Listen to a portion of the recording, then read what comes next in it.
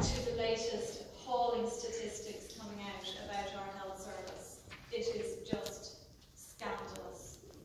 We know that now there are 718,000 of our citizens waiting for hospital treatment. 50,000 of these are children. What sort of country have we become? We spend the highest on health in Europe, and yet we have the worst access in Europe to health. What is going wrong? It's not lack of resources. There's plenty of money going into health, but our taxes are being squandered by the top elite in the HSE. And we know that last year, over 2,500 managers in the HSE earned over 100,000.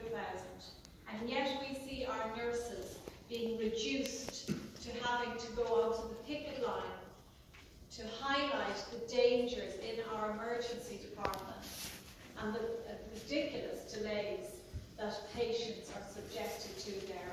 And our nurses are talking about a winter of catastrophe facing us. This is unacceptable for one of the richest countries